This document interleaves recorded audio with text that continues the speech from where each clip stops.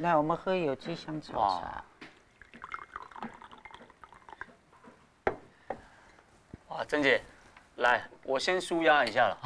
我们都互相舒压，压力太大了啦。那像我们现在一拿到了这个有机认证了以后，那香草茶做的这一段时间嘛，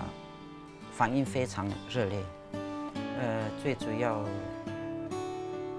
他来到整个环境里面，呃，到我们这个整个加德谷来了以后的感觉，除了舒服以外，喝了这些舒压的香草茶以后，感觉到很好，所以，呃，慢慢的外面的呃口碑就出来了。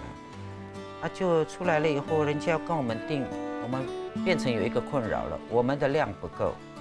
哦，那量不够，并不是说，呃，呃，并不是说，呃，我们做不出来，而是我们要怎么样子去让我们整个乡里面的人哈，能够大家一起来有收入，大家一起一起做。所以我们又辅导了，